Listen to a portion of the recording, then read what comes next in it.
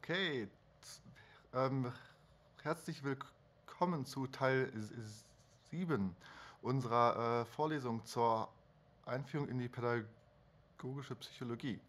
Ähm, ich freue mich, Sie alle heute begrüßen zu dürfen, insbesondere weil wir in der äh, letzten Vorlesung vor der Winterpause sind und ich freue mich auch wirklich, dass, ähm, wir auch, dass Sie auch so zahlreich auch jetzt hier in unserem Zoom äh, Livestream drin sind. Wir haben auch als kleine ähm, äh, Überraschung für diejenigen von Ihnen, die äh, live dabei sind, einen speziellen äh, Winter-Weihnachts-Badge vorbereitet, den Sie auf Greatcraft dann auch sehen werden.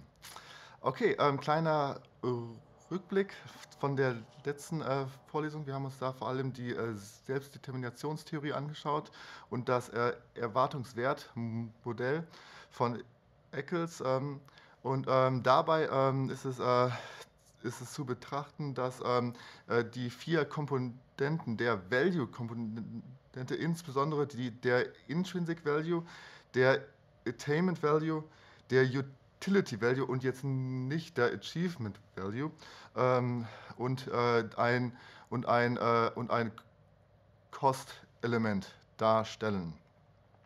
Dann zur Selbstdeterminationstheorie haben wir viel darüber geredet, was bedeutet diese Theorie, wie ähm, ist die ausgestaltet ähm, von äh, Bezug auf die Amotivation, intrinsische, intrinsische Motivation, extrinsische Motivation. Ähm, wie sind da die äh, verschiedenen Schwerpunkte, die, ähm, die ähm, äh, gesetzt werden, um beispielsweise intrinsische Motivation zu äh, verstärken? Also ähm, indem man beispielsweise die Autonomie erhöht, Zugehörigkeitsgefühl, ähm, äh, Sense of Belonging. Ähm, genau, und jetzt hier in dieser Frage, ähm, ähm genau, dass die Selbstbestimmungstheorie verschiedene Ausprägungen äh, ähm, zur Motivation auch beschreibt. Ähm, dann, genau, wie gerade auch schon erwähnt, die drei Hauptgrundbedürfnisse, die, Haupt, die drei psychologischen Grundbedürfnisse, die, ähm, die dabei helfen, ähm, intrinsische Motivationsunterstützung, ist das, ähm, ist das ABC of Motivation, also das Autonomieerlebnis, soziale Eingebundenheit, also B for Belonging und ein Kompetenzerleben, was, was dann auch dazu beiträgt, dann ähm, intrinsische Motivation zu verstärken. Ähm, wenn sehr viel intrinsische Motivation vorliegt, ähm, kann es zu einem sogenannten Flow erleben kommen und wir haben uns angeschaut, okay, ähm, was ist, wie kann man in diesen Flow-Kanal hereingelangen und dass dies ähm, insbesondere dann gut möglich ist, wenn ähm, die Aufgaben und auch das Fähigkeitsniveau in einem äh, in einem entsprechenden Verhältnis auch zueinander stehen.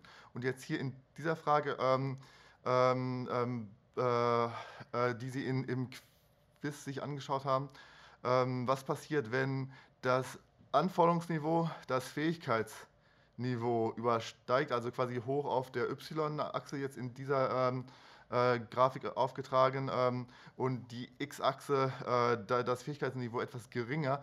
Also sind wir quasi in dem Bereich der Stress und Angst. So viel äh, zur letzten Vorlesung.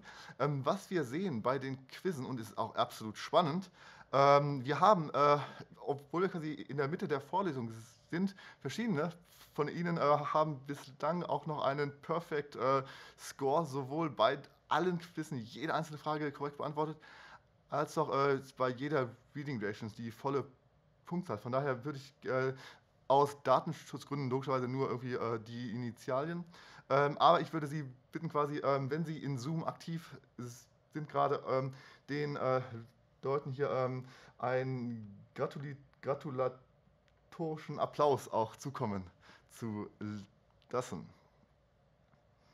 Genau, also äh, es wird spannend auch quasi, wie es ähm, dann, ähm, wie sich das weiterentwickelt, weil ähm, jetzt äh, kurz vor dem, also ähm, äh, der erste Blogbeitrag, ähm, diese Wertungen sind noch nicht quasi in unser Punkteschema mit eingeflossen.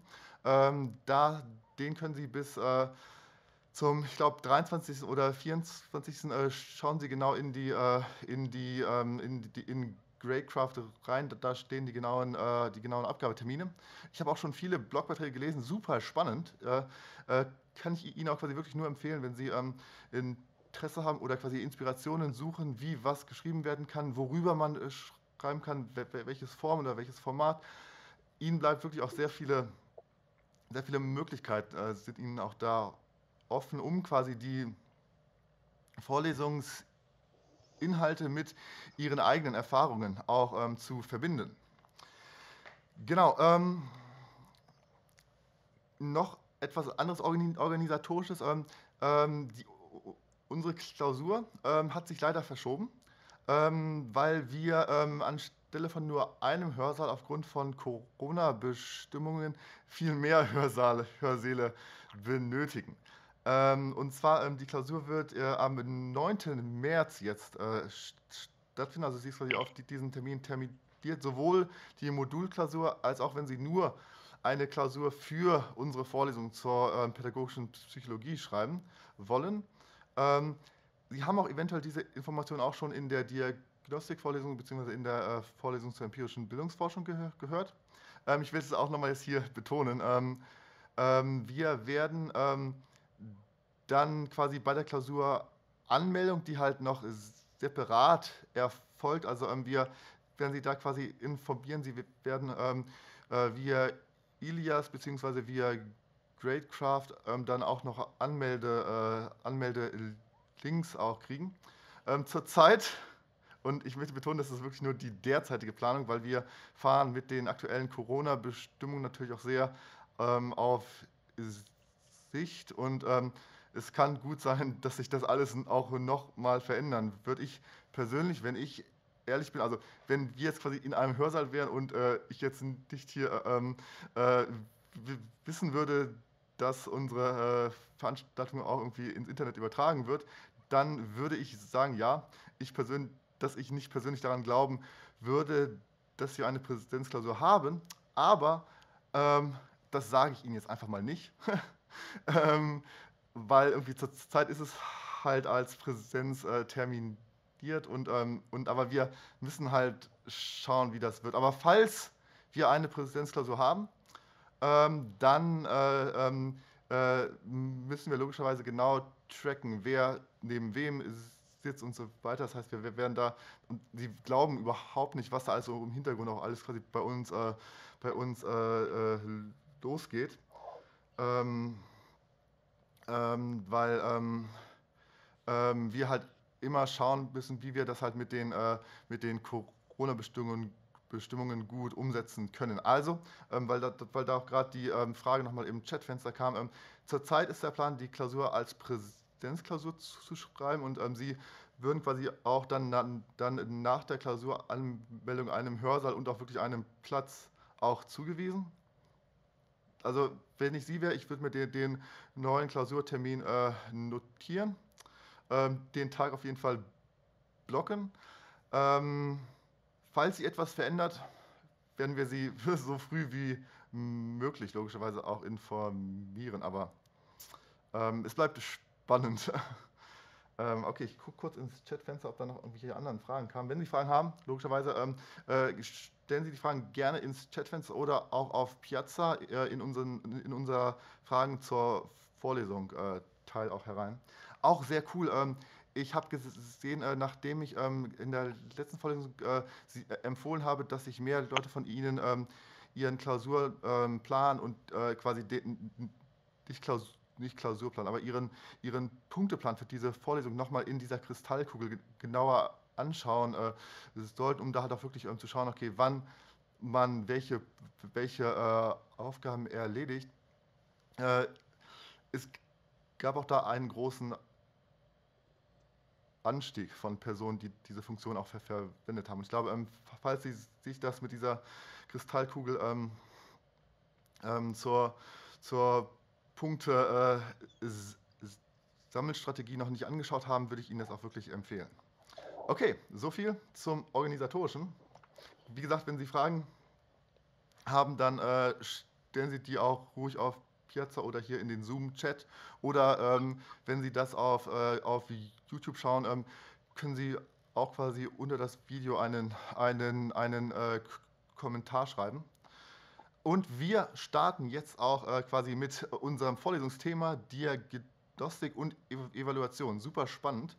Ähm, auch insbesondere spannend ähm, für viele Fragestellungen, die uns schon im Verlauf des Semesters begegnet sind, beziehungsweise ähm, Sie haben auch viele Studien schon gelesen und wir wollen uns jetzt ein bisschen genauer, genauer anschauen, wie äh, Studien äh, äh, und der Wissenschaftskreislauf auch wirklich funktioniert. Allgemein, wenn wir von Diagnostik äh, sprechen, dann ähm, ist es äh, wichtig, dass wir dabei ähm, betrachten, dass ähm, äh, Konzepte und Methoden aus der pädagogischen äh, Psychologie und auch aus der psychologischen Diagnostik verwendet werden, ähm, um möglichst äh, systematische Informationen und Wissen zu generieren, ähm, sowohl halt äh, Daten zu, zu sammeln, diese ähm, zu analysieren und dann auch zu interpretieren, damit man dann, ähm, dann ähm, beispielsweise Entscheidungsprozesse ähm, ähm, ähm, unterstützen kann, indem man da beispielsweise politischen, äh, politischen Entscheidungs Entscheidungsträgern Unterstützung bietet oder in anderen pädagogischen äh, Handlungsfeldern wie dem Lehren oder Lernen, dass man da ähm, ähm, überlegt, wie man ähm, diese Prozesse verstärken kann auch.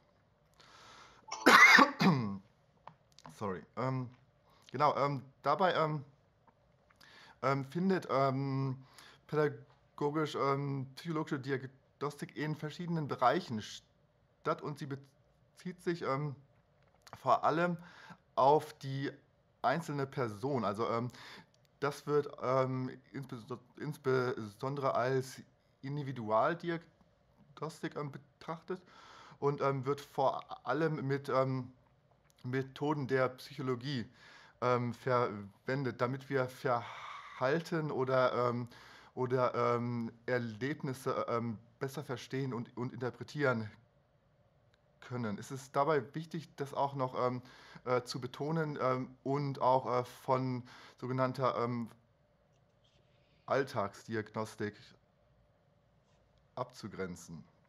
Ähm, Sie fragen sich vielleicht, okay, warum äh, ist Diagnostik wichtig? Was bedeutet dies für mein eigenes Leben? Und ähm, es ist wirklich so, dass wir äh, wissenschaftlich ähm, abgesicherte Erkenntnisse ähm, gewinnen wollen, die quasi über, über ähm, naiven Vorstellungen oder über, ähm, über äh, Vermutungen herausgehen. Also, ähm, und ähm, Sie äh, sehen beispielsweise, dass ähm, Forschungsergebnisse ähm, dann, danach auch quasi von den Medien mit aufgegriffen werden und dann für eine breite Bevölkerung aufgearbeitet werden. So, so können Sie beispielsweise ähm, ähm, so das Gefühl haben, dass, ähm, dass, ähm, ähm, äh, ähm, dass der äh, Schulerfolg oder da, das Lebenserfolg allgemein stark von sozialdemografischen Faktoren abhängig ist. Aber dies kann auch vor allem nur eine Vermutung sein und ähm, mit Hilfe von Diagnosen Diagnostik ist es dann möglich, ähm, solche Vermutungen, solche Hypothesen dann auch ähm, wirklich ähm, zu überprüfen, um sich beispielsweise anzuschauen, okay, wie sehen Zusammenhänge von, äh, von äh, sozioökonomischen Faktoren mit beispielsweise dem Schulerfolg aus. Und dies wird meistens quasi mit äh, verschiedenen Konstrukten betrachtet, so dass man da auch wirklich genau zu definieren hat, okay, was bedeutet äh, schulischer Erfolg? Also beispielsweise ähm, ähm, ähm, sieht man, dass in vielen äh, Studien ähm, anstelle von einem allgemeinen schulischen Erfolg, über den gesprochen wird, sich wirklich sehr dezidiert ähm, verschiedene Kompetenzfelder angeschaut werden, wie Leseverständnis oder wie ähm, Algebra. Also wirklich, dass man da anstelle von Globalindikatoren eher einzelne Konstrukte betrachtet betrachtet und dann ähm, darüber hinaus wird dann quasi ähm, verallgemeinert. Ähm, und ähm, diese Erkenntnisse werden quasi dann so ähm, aus einer äh, Vogelperspektive äh, schaut Wissenschaft da meistens drauf. Was sehr spannend ist, beispielsweise PISA ist auch ein, ein, ein sehr ähm, großes ähm, äh, und auch in der Bevölkerung ähm, ähm bekanntes, äh, ähm, bekannte Studien, die sich Bildungserfolg und ähm, Bildungschancen, soziale Ungleichheit äh, genauer betrachten. ich habe Ihnen auch da einen kleinen, einen kleinen äh, TED-Talk von Andreas äh, Schleicher mitgebracht. Der ist ähm, der, ähm, einer der, der äh, Hauptverantwortlichen bei der OECD und auch ähm, ähm, sehr stark in den, in, in den PISA-Prozess äh, mit eingebunden. Also es ist ähm, wirklich, ähm, es gibt wirklich eine, also ich kann Ihnen auch da quasi empfehlen, sich über die äh, Ferientage das Video beispielsweise ähm, äh, anzusehen, wenn Sie Ihren Verwandten entfliehen wollen, beispielsweise. Ähm, äh, es lohnt sich. Genau. Aber es können damit auch wirklich äh, eine Vielzahl von weiteren äh, Fragestellungen auch ähm, betrachtet werden, wie irgendwie, ähm, wir haben uns das ja im, in der Vorlesung zur Intelligenz auch schon ein bisschen angeschaut. Also Fragestellungen wie, wie, ähm, wie identifizieren wir Hochbegabung beispielsweise oder ähm, wie können ähm, Lehrkräfte Fähigkeiten von Schülerinnen und Schülern diagnostizieren, um besondere Förderbereiche ähm, ähm, dann auch zu erkennen, um darauf dann zu reagieren, damit man ähm, Schülerinnen und Schüler auch dementsprechend äh, fördert. Und ähm, ich würde Sie bitten, gerade weil es auch so ein breites Feld ist und Sie auch sicherlich alle auch schon in Berührung gekommen sind mit Feldern der Diagnostik, ähm, ähm, dass Sie in Breakout Rooms für fünf Minuten ähm, mögliche Fragestellungen äh, äh, diskutieren, beziehungsweise, ähm, äh, wenn Sie wollen, auch quasi, wie Sie, ähm, wie Sie ähm, diese Fragestellungen mit einer Studie beispielsweise beantworten würden, wenn Sie dafür die notwendigen Ressourcen halt auch zur Verfügung hätten. Also ähm, fünf Minuten, wie jedes Mal, wenn Sie ähm, in einem Breakout Room drin sind, in dem keine äh, Diskussion stattfinden sollte, gehen Sie ruhig wieder in die Hauptsession zurück. Danach werden wir Sie wieder ähm, auf die verschiedenen Breakout Rooms auch zuteilen. Okay, ich kreiere schnell die Breakout Rooms und äh, wünsche Ihnen viel Spaß bei Ihren Diskussionen. Alles klar.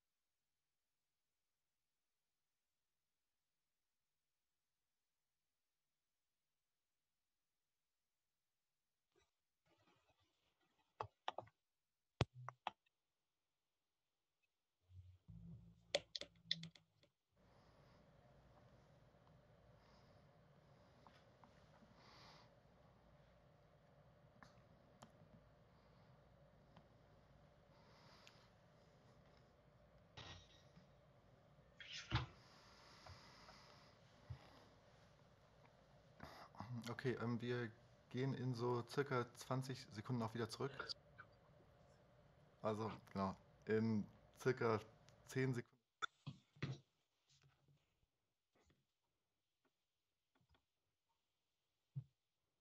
Mehr, weniger.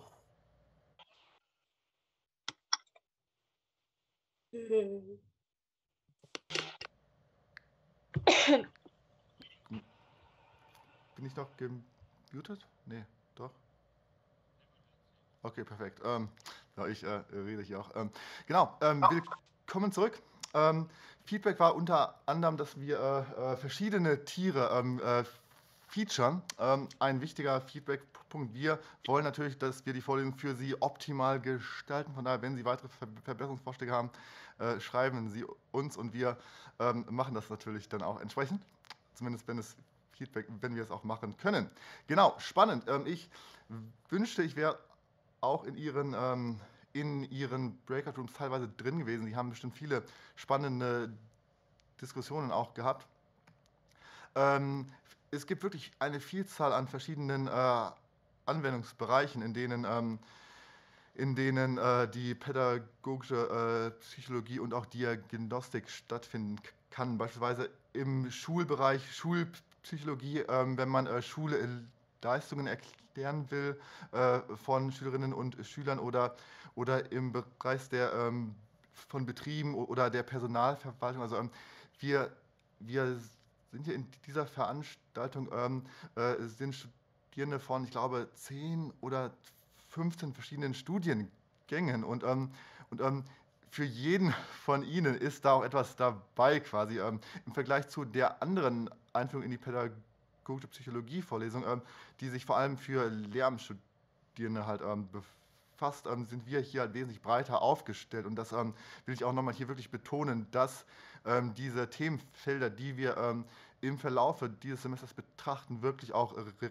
Relevanz für, wie, für wirklich viele verschiedene Bereiche haben, in denen Sie dann, wenn Sie Ihr Studium hier an der Universität Tübingen ähm, abgeschlossen haben, dann auch äh, mitnehmen können, um beispielsweise in ihre Betriebe dann auch äh, hereinzubringen. Also äh, Personalverwaltungsberufs, ähm, Eignungsdiagnostik als ein weiteres Anwendungsfeld oder, ähm, oder ähm, wenn Sie in der Wissenschaft bleiben wollen, so Lernforschung, ähm, mögliche Fragestellungen, ähm, ähm, inwieweit ähm, die Qualität von erworbenem Wissen, äh, von äh, der Lernmotivation abhängig ist oder klinische Psychologie, ähm, psychische Störungen, ähm, wo liegen da, ähm, ähm, äh, wie kann so etwas erfasst werden, was sind da Methoden? Und ähm, wenn ja, welche, wenn es auch da Unterschiede gibt, und verschiedene Theorien, wie kann man dann entscheiden, okay, in welcher, äh, was, ist, was ist wahrscheinlicher? Dann äh, in der Verwaltung, also ähm, Vereignungsdiagnostik, ähm, wenn sich so viele Punkte gesammelt haben, was ich natürlich bei Ihnen nicht hoffe, dass das jemals in Ihrem Leben eintreffen wird, ähm, die medizinisch-psychologische Untersuchung, die, die danach ähm, zu absolvieren wäre, ist ebenfalls auch, das fällt auch sehr in den Bereich ähm, der Diagnostik herein. Ähm, und ähm, es ist wirklich so, dass es in vielen von diesen Fällen, die wir da betrachtet haben, darum geht, ähm, ähm, äh, Entscheidungen zu treffen und auch Informationen zu äh, sammeln, die, die über einer subjektiven Einschätzung hinausgehen. Also dass man wirklich ähm, begründet äh, ähm, Informationen sammelt, um Schlussfolgerungen ziehen zu können. Und ähm, dies ist beispielsweise, ähm, äh, dies hat eine große Relevanz in vielen Bereichen, beispielsweise ähm, ähm vom Übergang der Schulformen, wenn dort ähm, Diagnostik äh, äh, ver verwendet wird und auch wirklich ähm, Lebenswege beeinflusst, ob beispielsweise Schülerinnen und Schüler auf eine Regel oder auf eine äh, Förderschule gehe. Sie haben da auch teilweise in den Reading, in den Reading Reactions wirklich auch sehr spannende andere Beispiele auch gebracht, die auch wirklich so die, die ähm, Herausforderungen von äh, diagnostischen Entscheidungen halt auch teilweise auch wirklich ähm, näher beleuchtet haben. Also ähm, ähm, von daher ist es ähm, sehr wichtig, dass man sich auch dabei anschaut, okay, wie werden solche Entscheidungen getroffen? Ähm, äh, wie ist so der Forschungskreislauf, der diagnostische Prozess, der diagnostische Prozessablauf? Und ähm, der ist auch relativ klar gegliedert und ähm, man kann für jede der Fragestellungen, die Sie in Ihren Breakout Rooms diskutiert haben oder die wir jetzt auch noch vorhin auf den Folien gesehen haben, äh, kann man diesen Kreislauf durchlaufen, um dann zu begründeten Entscheidungen auch zu gelangen. Und zwar ist, startet quasi damit, dass wir ähm, das ähm, Entscheidungsproblem definieren und uns genau betrachten, okay, was sind unsere Hypothesen, was, ähm, was wollen wir wirklich untersuchen. Dann äh, muss man sich die, ähm, die Konstrukte genauer definieren, ähm, was betrachtet wird. Äh, diagnostische Instrumente müssen danach gewählt werden, ähm, damit dann ähm, diagnostische Informationen ermittelt werden können. Ähm, und danach kann man zu einer Entscheidung kommen und ähm, womit dann die Hypothesen, die man zum Eingang gehabt hat, dann überprüft werden. Ähm, und quasi, wenn dieser Kreislauf, ähm, der auch wirklich ähm, teilweise auch, auch wirklich iterativ erfolgen kann, wenn man komplexe Fragestellungen auch betrachtet. Und das äh, ist auch oftmals ein Prozess, je nach Studie, der über, über, über Monate oder sich teilweise sogar über Jahre auch ähm, hinwegzieht. Ähm, dann kann zum Ende dann ein, ein, eine Gutachten oder, oder eine Studie angefertigt werden, ähm, die die Ursprungsfrage aufgreift und dann ähm, auf Grundlage der, des äh, Fortschreitens des Kreislaufes, der Methoden, der Daten ähm, und der Interpretation äh, und Analyse der Ergebnisse dann zu Erkenntnissen äh, gelangt. Wir werden uns jetzt nun jede einzelne Komponente von diesem Kreislauf genauer äh, betrachten und ähm, starten da ähm, bei der Fragestellung, bei der, bei der, Hypothesenbildung.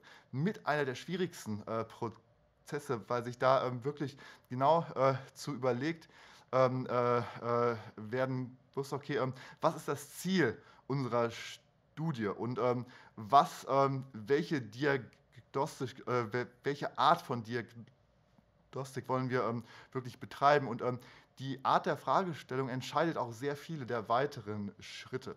Ähm, wir unterscheiden allgemein ähm, zwischen äh, Selektions- ähm, und Modifikationsdiagnostik. Bei äh, Selektionsdiagnostik äh, kommt es vor allem darauf an, Personen zu wählen, die in bestimmten Umgebungen sich befinden. Oder auch auf der anderen Seite die richtige Lernumgebung für Personen zu auszuwählen. Also Beispiele ähm, Personaleinstellung, ähm, dort ähm, äh, psychologische Tests zu machen, um äh, beispielsweise zu finden, okay, ähm, passt, diese, passt diese Bewerberin, dieser Bewerber in das Arbeitsumfeld herein. Ähm, das andere große ähm, äh, Thema ist Modifikationsdiagnostik, also wie man wie man Verhalten von Menschen in einer bestimmten Situation modifizieren kann. Und ähm, dass dort untersucht wird, wie effektiv beispielsweise verschiedene Modifikationsstrategien sind. Wir haben uns ja auch, auch zu Beginn ähm, ähm, unserer Veranstaltungsreihe auch wirklich verschiedene Lerntheorien genauer betrachtet, ähm, äh, wie äh, Verhalten beispielsweise mit, mit äh, Konditionierung ähm, äh, modifiziert werden kann. Und um dies zu untersuchen, würde man beispielsweise dann Modifikationsdiagnostik dann auch betrachten. Dann eine zweite wichtige ähm, Unterscheidung, ähm, äh, die sich auch auf die Hypothesen widerspiegelt, ist ähm, der, der Unterschied von Status und Prozessdiagnostik. Dabei, ähm, ähm, das ist auch so ein bisschen so, was auch ähm, im, äh, in einem Balanceverhältnis äh, steht. Ähm, und ähm, je nach Untersuchung wird halt entweder das eine oder das andere auch oftmals stärker in den, in den Fokus genommen. Bei Statusdiagnostik da, da ist insbesondere der Status quo zu einem speziellen Zeitpunkt im Fokus von Untersuchungen und ähm, es wird probiert, möglichst präzise ähm, Informationen zu bestimmten Merkmalen an einem Status zu betrachten. Und im Vergleich dazu steht bei der Prozessdiagnostik insbesondere die, die, die temporale Veränderung ähm, im Vordergrund, um sich beispielsweise ähm, äh, genauer zu betrachten, wie ähm, beispielsweise eine Person durch ähm, das Studium ähm, äh, ähm, wie der Studienverlauf von Personen ist, beispielsweise, wo da ähm, äh, Schwierigkeiten liegen, was wir beispielsweise sehen, super spannend. Das habe ich auch in meiner eigenen Forschung, schaue ich mir das äh, ähm, auch häufig an. Äh, Frauen in MINT-Studienfächern sind beispielsweise wesentlich wahrscheinlicher in, mit amerikanischen Daten. Ich weiß noch nicht, wie das hier in Deutschland genau aussieht, da sind Studien auch noch zurzeit in Planung, ähm, quasi, ähm, dass äh, Frauen in MINT-Fächern wesentlich wahrscheinlicher sind, ähm, äh, ähm, de, den Studiengang zu wechseln. Super spannend. Aber was wir was wir allerdings ebenfalls sehen, je höher, und das ist auch wirklich äh, quasi ein, ein, ein Sneak Preview, den Sie hier kriegen, ähm, die, wir sind noch in einer, in einer, sehr frühen Phase, ich weiß auch nicht, ob ich das wirklich sagen soll, aber ähm, quasi erste Ergebnisse ähm, deuten auch quasi darauf hin, je, je höher der Prozentsatz an Frauen ähm, in, äh, naturwissenschaftlichen, äh, in naturwissenschaftlichen äh, Vorlesungen, desto höher ist, äh, die, äh, ist die Lernleistung sowohl von Frauen als auch von Männern. Also was wir quasi sehen, Frauen machen das Leben besser. Völlig klar. Ähm, aber wir müssen das noch genauer betrachten, logischerweise. Also von daher aber ich finde, also wenn das wirklich, also wenn, wenn sich unsere Ergebnisse bestätigen, absolut spannend und ähm, äh, ja. Dann ähm, ähm, Status- und Prozessdiagnostik ähm, ist ebenfalls auch dazu betrachten, ähm, dass ähm, wir uns auch da vor allem anschauen wollen, okay, was, welche Merkmale sind veränderlich und welche ähm, äh, sind nicht veränderlich. Also wenn etwas ver veränderlich ist, wird so etwas auch als äh, State betrachtet. Oder wenn es ähm, nicht veränderlich ist, sondern wirklich quasi ähm, inhärent zu Personen sind, dann wird es auch oftmals als Trade bezeichnet. Also die, diese ähm, verschiedenen äh, Formen, äh, wie ähm, ähm, äh, welche Art von Fragestellung man sich äh, betrachtet, ähm, äh, haben dann einen großen Einfluss darauf, wie dann die weiteren Schritte verlaufen. Was in jedem Fall wichtig ist, ähm, wenn wir uns eine Fragestellung überlegt haben, dann genau zu betrachten, okay, beispielsweise, beispielsweise wir wollen, wir wollen ähm, wir wollen ähm, äh, äh, Studienerfolg ähm, uns betrachten, okay, dann ist es wichtig, dass wir genau und klar definieren, was bedeutet dies denn, dass man ähm, ähm, solche allgemeinen ähm, äh, Gegenstandsbereiche sehr klar, sehr, sehr klar definieren und uns auch äh, Konstrukte überlegen, die auch beobachtbar sind. Äh, und ähm, das äh, ist auch dabei wichtig, dass ähm, ähm, wir vor allem äh, diese Konstrukte können wir definieren von klar beobachtbaren Sachen, wie beispielsweise Klausurergebnissen oder den Gradecraft-Punkten, die Sie erwerben. Aber was auch untersucht werden kann, sind ähm, sind ähm, Konstrukte über, ähm, über Persönlichkeitseigenschaften beispielsweise, die jetzt nicht direkt zu beobachten sind.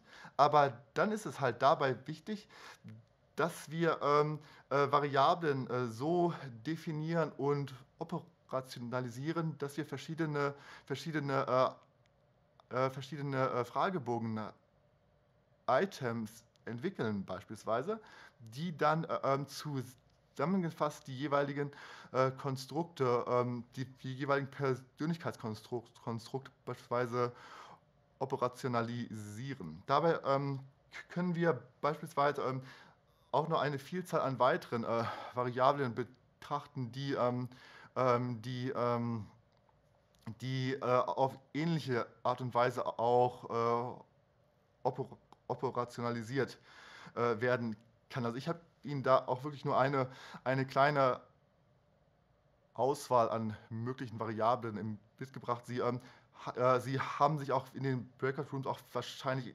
ebenfalls dann auch überlegt, okay, wie kann man so etwas messen, was sind, äh, äh, was sind äh, potenzielle Variablen. Ich will ähm, Sie, Sie sehen das ja hier auf den äh, Folien, also ähm, irgendwie ähm, äh, kognitive Variablen. Wir haben auch da schon in unserer Veranstaltung verschiedene, verschiedene ähm, Konstrukte betrachtet, wie Intelligenz, wie Gedächtnis, äh, aber man kann auch noch viele weitere, ähm, viele weitere kognitive ähm, äh, Variablen äh, messen im Erwartungswertmodell äh, von Eccles beispielsweise, haben Sie ebenfalls gesehen, wie viele Variablen einen Einfluss auf die Motivation auch besitzen. Und ähm, und ähm, ist es aber auch dabei wichtig, dass Sie in einer Studie, wenn Sie eine Fragestellung untersuchen, sich genau betrachten, okay, was sind mögliche Einflussfaktoren und was sind die wahrscheinlichen Einflussfaktoren, um sich dann genauer zu überlegen, okay, wie will ich meine Studie äh, designen, was für Konstrukte nehmen wir ähm, in die Studie mit auf.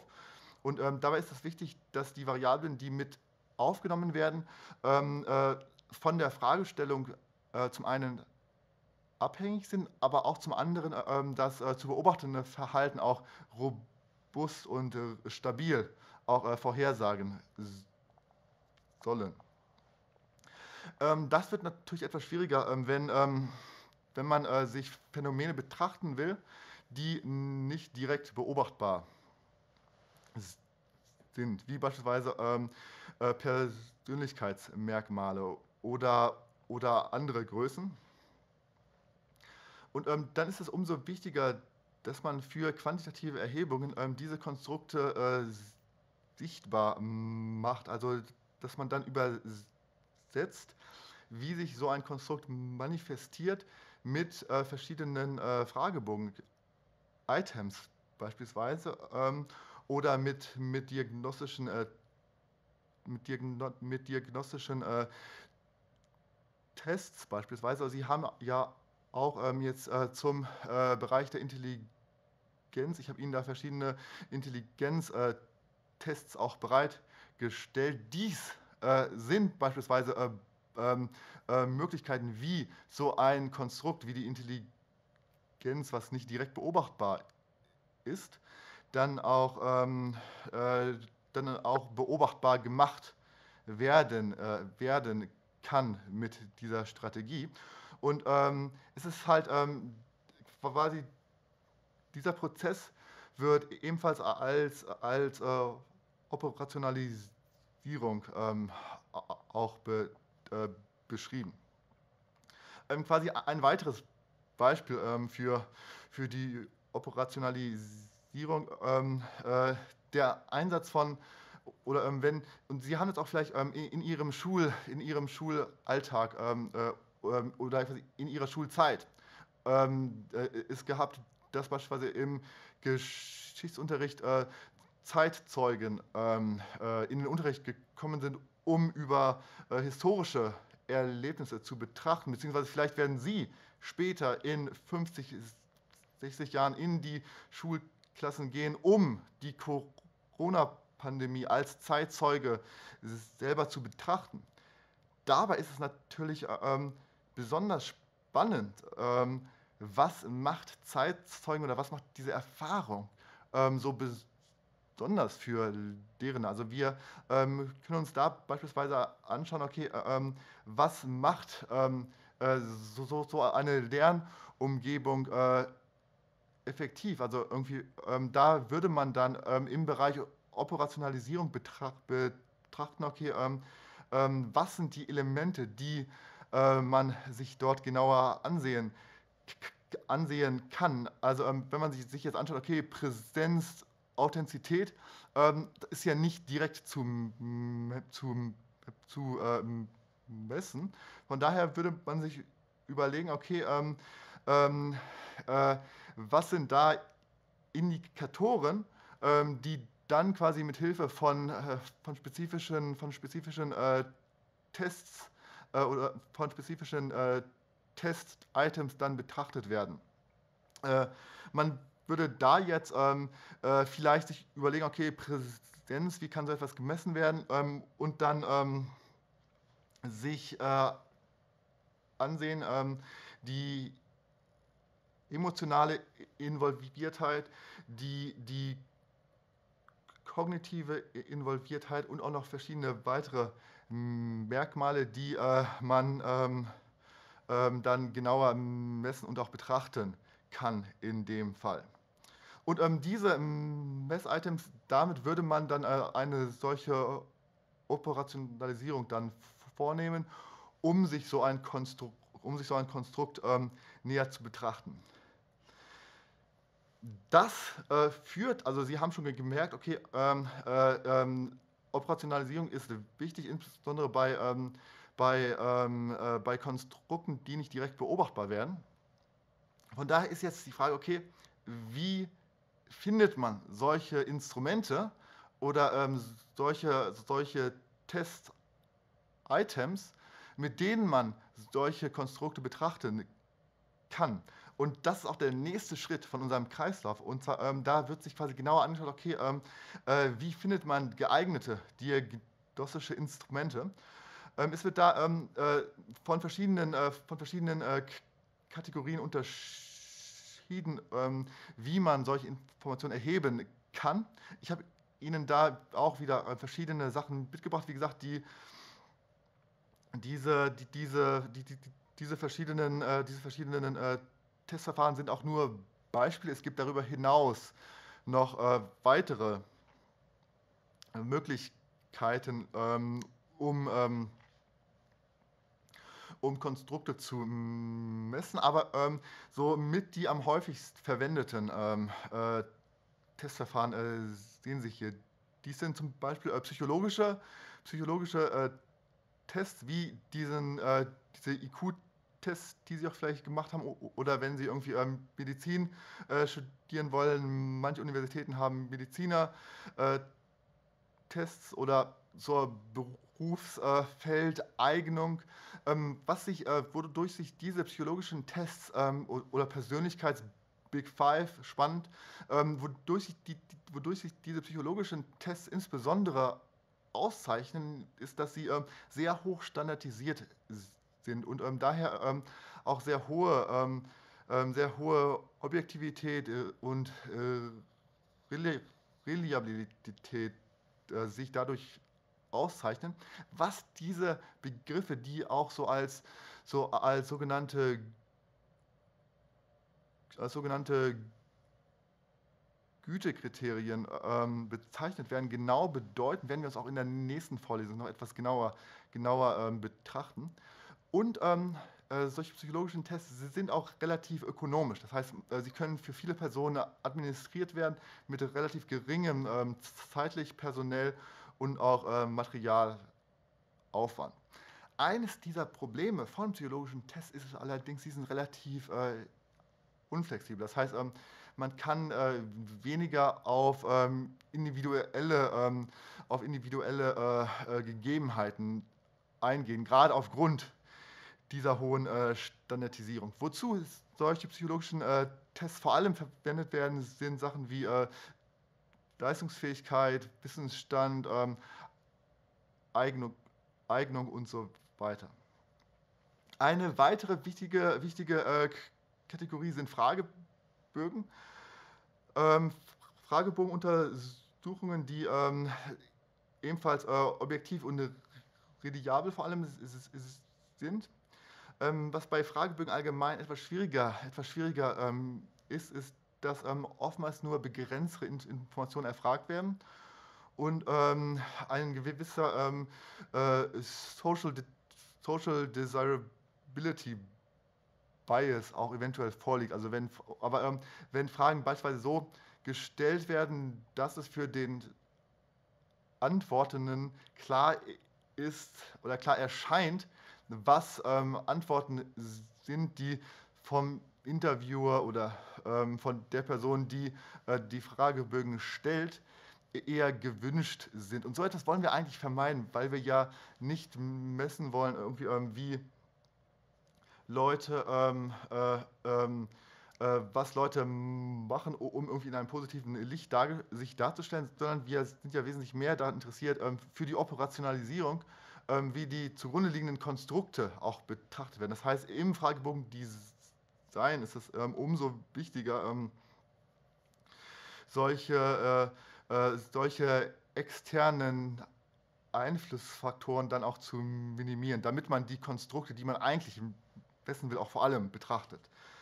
Ähm, großer Vorteil ist, dass man mit Fragebögen wirklich auch ähm, sämtliche, sämtliche Inhaltsbereiche eigentlich, ähm, eigentlich, äh, eigentlich äh, abdecken kann und die auch wirklich sehr flexibel ähm, im Einsatz auch darstellen und auch in wirklich jedem dieser ähm, Anwendungsfälle, die, die wir zu Beginn heute Morgen auch gesehen haben. Dann als dritter großer Punkt ähm, Interviews ähm, wo Personen quasi sich direkt gegenüber sitzen oder, oder, ähm, äh, oder ähm, solche Telefoninterviews äh, durchgeführt werden.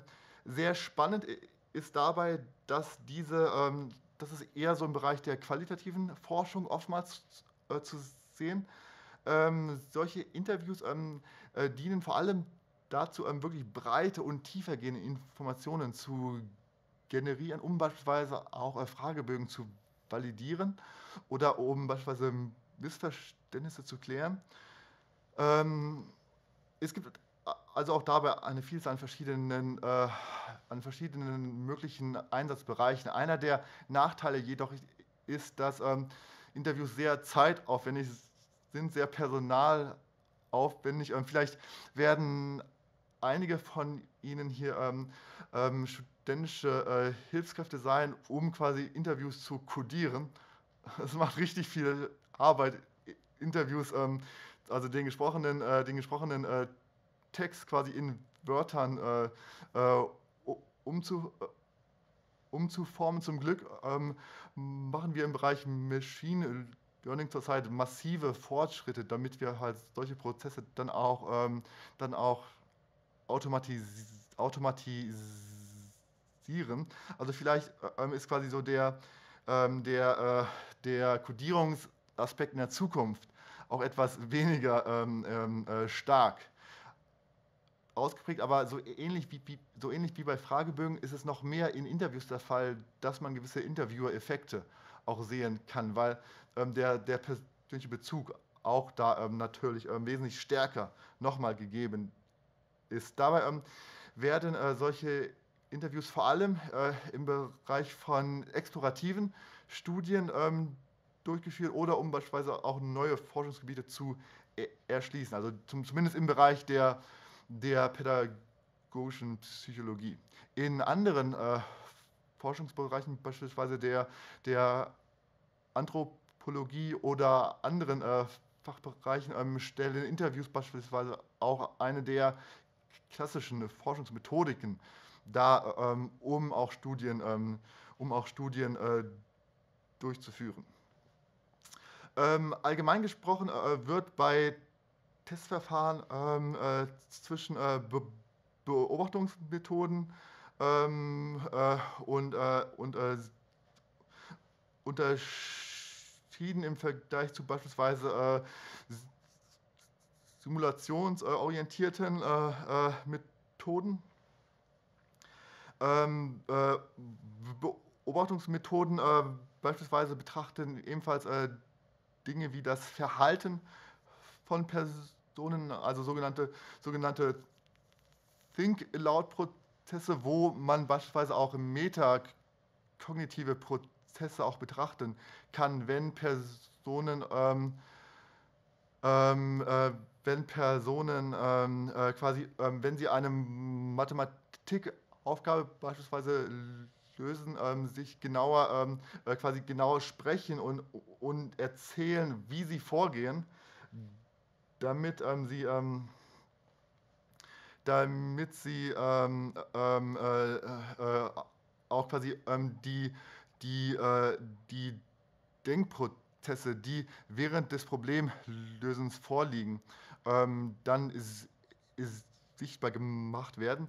Wieder ähnlich zu den Interviews ähm, äh, relativ hoher ähm, äh, Zeit- und Personalaufwand, solche, äh, solche Think Aloud-Studien zu ähm, machen. Ähm, äh, genauso könnte man ähm, äh, in das gleiche Feld fallen, beispielsweise ähm, Unterrichtsbeobachtungsstudien herein oder, oder Studien, die sich äh, Verhalten von Personen beispielsweise beim E-Learning dann auch betrachten. Die fallen quasi in das gleiche, in die, diese gleiche Art der Datenerhebung herein. Dann ähm, ein anderes weiteres großes Modell sind äh, simulationsorientierte Methoden, beispielsweise ähm, Arbeitsproben, äh, Fallszenarien. Als ein, weiterer, äh, als ein weiteres äh, Beispiel, ähm, wo ähm, beispielsweise ähm, die Arbeitsproben verwendet werden, die eh generiert werden, ähm, um darauf äh, hinausgehend Informationen auch ähm, zu, ähm, zu generieren, ähm, um beispielsweise ähm, Kompetenzdiagnostik auch zu machen. Dann weitere ähm, äh, verschiedene äh, diagnostische Erhebungsmethoden, äh, diagnostische Instrumente, die vor allem auch in der, in der äh, psychologischen Diagnostik Diagnostik auch vor allem äh, ähm, verwendet werden können, sind ähm, äh, und auch die jetzt auch etwas größer werden. Ähm, jetzt, wo wir quasi Big Data auch wirklich mehr sehen und auch die, und auch die Ressourcen haben, um beispielsweise ähm, Millionen von Clickfiles zu betrachten, ähm, ist es, äh, dass, dass man sich, dass man sich, ähm, dass man sich äh, Logfiles anschaut. Also ich habe Ihnen ja vor, ich glaube, zwei Wochen oder so äh, ähm, eine Studie äh, mitgebracht, wo, ähm, äh, oder zu Beginn der Vorlesung, glaube ich, war das, ähm, wo ich Ihnen gezeigt habe, ähm, wo wir ähm, einen Kurs in den USA betrachtet haben, ähm, wo wir das Video, das Video Watching Behavior von Studierenden betrachtet haben und wann Studierende äh, sich die Videos angeschaut haben und wie der Effekt davon auf die Schülerleistung war das war quasi also eine Studie, die wir gemacht haben, basierend auf den Clickstream-Daten von ähm, diesen Studierenden. Das heißt, wir haben quasi gewusst, zu welchen Zeitpunkten äh, Studierende die Videos sich anschauen, um halt damit äh, äh, die Selbstregulation zu operationalisieren und sich dann Effekte auf Schülerleistung äh, anzusehen. Was ähm, dabei äh, ähm, Schwierigkeiten da, also Vorteile logischerweise, ähm, diese, ähm, diesen, äh, diesen äh, Social Desirability Bias haben wir da halt überhaupt nicht drin, weil ähm, die ähm, Daten relativ oder weil die Daten objektiv erhoben werden, weil, weil sie halt ähm, das klare Verhalten von Studierenden ähm, abbilden und, äh, und daher auch eine eine, eine wesentlich objektivere, ähm, wesentlich objektivere Einblicke in das Lern- und Studierverhalten auch ermöglichen. Ähm, Schwierigkeiten dabei ist es, ähm, es werden halt riesige Datenmengen ähm, äh, fallen dabei an. Also ähm, pro Studierender, ähm, Sie können sich das ja sicherlich äh, vorstellen, irgendwie, wenn jeder einzelne Klick beispielsweise ähm, getrackt wird, was ja auch jederzeit passiert. Das, da müssen wir uns alle ja auch nichts äh, vormachen. Zu jeder Zeit, wenn wir im Internet uns bewegen, wird unser Verhalten getrackt. Und, äh, und ähm, diese Daten äh, können dann beispielsweise ähm, in, äh, für, für ähm, Marktforschung oder, oder ähm, wenn Sie auf, wenn Sie ähm, jetzt zur, ähm, zur, äh, zur dieser Jahreszeit ähm, Geschenke ähm, äh, online bestellen, wird ja ihr Verhalten getrackt und sie kriegen Vorschläge basieren auf ihren, auf ihren Klicks beispielsweise. Spannend, spannend und, und auch, da sehen wir ähm, je, nach, ähm, je nach Datenerhebungsinstrument ähm, wesentlich weitere Implikationen, Forschungsethik, ähm, Privat, Privatsphäre, Datenschutz und so weiter. Wichtige und große Themen, die insbesondere für diese, ähm, ähm für diese Erhebungsmethode auch eine besondere Relevanz auch besitzen.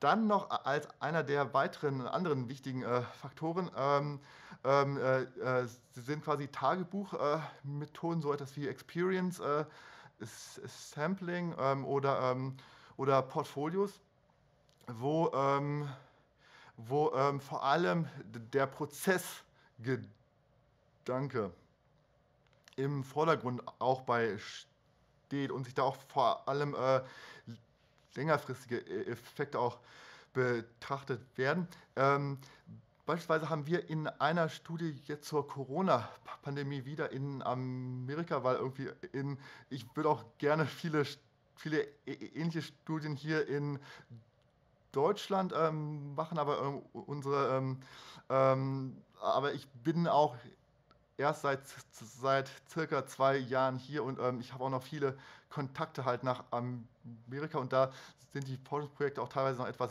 weiter vorangeschritten, wo wir beispielsweise jetzt zur Corona-Pandemie ähm, äh, äh, mit einer Gruppe von Studierenden quasi die, die den Einfluss äh, von dem Online-Lernen ähm, untersuchen wollen, ähm, was das für ähm, Stress und Emotionen und viele weitere ähm, Faktoren bedingt und wir pingen dabei Studierende, Studierende äh, die auch zugesagt haben, äh, dass sie bei dieser Studie auch beteiligt sein wollen. Wie, wie, wir pingen die quasi auf ihr, ihren Smartphones an, ähm, fünf bis sechsmal pro Tag zu unterschiedlichen Tageszeiten über einen zwei Wochen äh, Rhythmus, damit wir halt da wesentlich ein wesentlich genaueres Bild quasi über, über, äh, über Emotionsverläufe auch zu verschiedenen Tageszeiten auch ähm, betrachten. Was auch dabei halt schwierig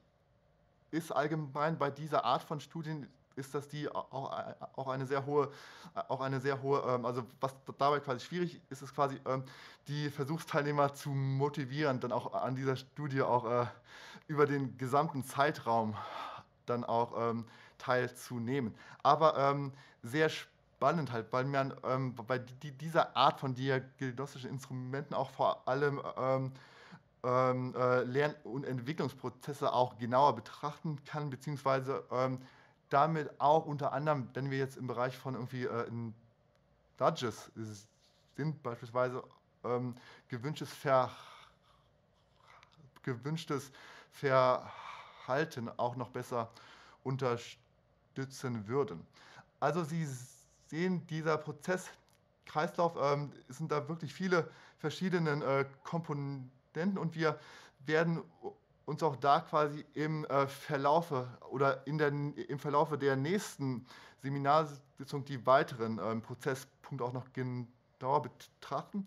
Ich will Ihnen allerdings ähm, ebenfalls auch ans Herz legen, ähm, wenn Sie selber ähm, Teil von äh, Forschungsstudien werden wollen, ähm, dass äh, das Leibniz-Institut für Wissensmedien ähm, äh, hat eine, eine äh, Forschungsdatenbank äh, quasi, wo, ähm, ähm, wo verschiedene Studien ähm, äh, gelistet werden, die ähm, die äh, Versuchsteilnehmende halt ähm, benötigen oder beziehungsweise ähm, sie kriegen ja auch wahrscheinlich über, über ihre studentische E-Mail viele, äh, viele, viele äh, äh, Studienanfragen und ich würde Ihnen wirklich empfehlen, da auch an verschiedenen äh, Studien auch wirklich äh, teilzunehmen als Versuchsperson, weil, weil sie eben gerade, weil sie ja so etwas studieren, ähm, dann auch äh,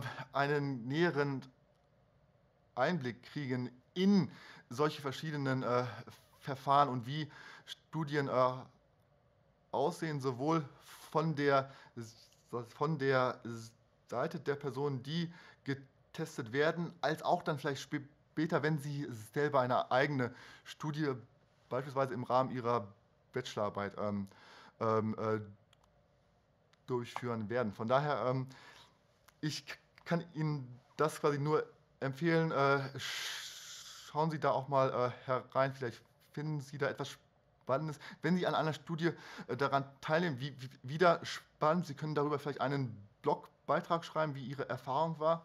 Ich glaube, Ihre, Ihre Mitstudierenden würde so etwas ebenfalls auch interessieren.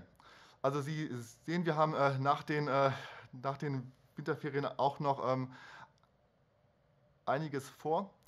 Und ähm, ich freue mich da in jedem Fall darauf und äh, wünsche Ihnen eine, eine äh, erholsame äh, Pause. Ähm, passen Sie auf sich, auf sich auf und auch ähm, probieren Sie, ähm, wenn möglich, ähm, den Kontakt zu zu vielen Menschen zu vermeiden, weil ich, äh, weil, weil ähm, ich äh, würde es wirklich sehr gerne sehen, dass wir auch zum Ende der Vorlesung auch noch ähm, komplett gesammelt als große Gruppe auch ähm, in unserer Veranstaltung dabei sind. Und ich glaube, die jetzige Zeit ist wirklich schwierig für viele. Und ich glaube, jeder Einzelne von Ihnen und von äh, uns ähm, hat wirklich äh, eine große soziale und gesellschaftliche Verantwortung. Und ähm, ich glaube, ähm, es ist jetzt, es liegt wirklich ähm, daran, wie wir gemeinsam als äh, Gesellschaft jetzt ähm, vorangehen, ähm, damit wir die Pandemie auch in den Griff kriegen, wieder, damit die Fallzahlen äh, nicht äh, danach auch nach den Wintertagen komplett explodieren. Von daher mein, mein, mein persönlicher Rat an Sie, ähm, schauen Sie, wie Sie sowohl Ihrer Familie etwas, etwas Gutes tun, als auch der Gesellschaft. Alles klar. Ich würde mich freuen, Sie in der, in der, äh, im neuen Jahr, weil 2020 verrückt, verrückt, ähm, Sie im, äh, in neuen Jahr ähm, in neuer Frische und mit neuer Motivation dann auch wieder zu begrüßen. Alles klar.